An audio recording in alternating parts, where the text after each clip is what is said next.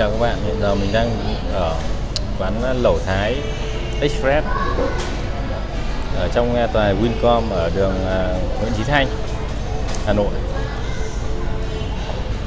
Hôm nay mình à, sẽ thử nghiệm xem ở đây các món lẩu Thái có ngon không. Mình gọi ở đây mình gọi combo 249.000 thì người ta mang ra trước là đậu rán này dưới rơi nước sốt và kia là chả giò hay gọi là nem đấy.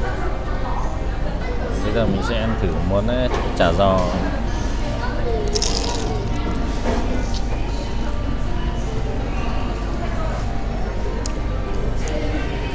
Vỏ rất là giòn.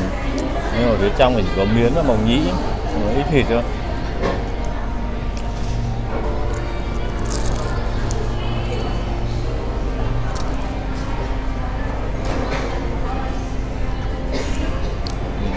Không có gì đặc sắc mấy.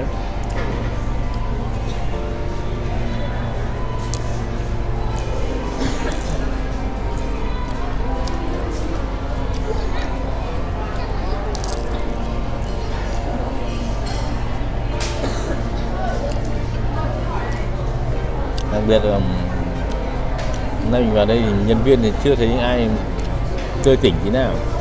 Chắc là làm việc mệt quá.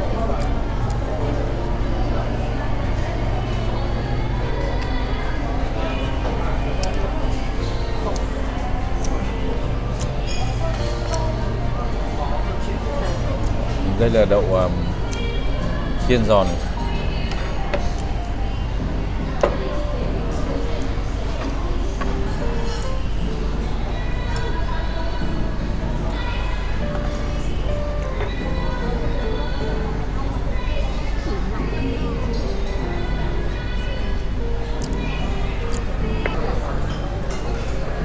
Sau 20 phút gọi đồ thì uh, combo lẩu đã ra đầy đủ kia là lầu bò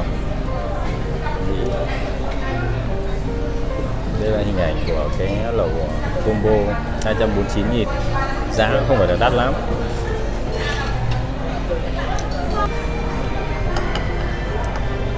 Làm nốt với chả giò này.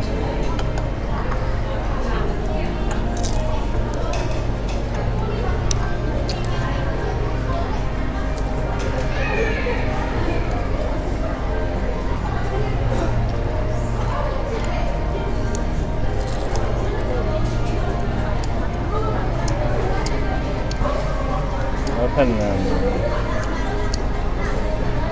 nộm salad thì quá mặn.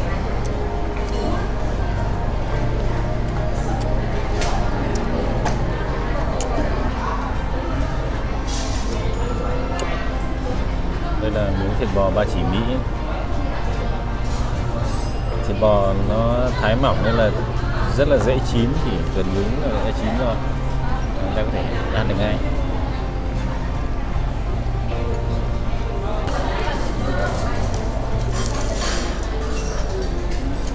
Em mà chỉ có miếng nó mỏng nhĩ nên nó hơi khô.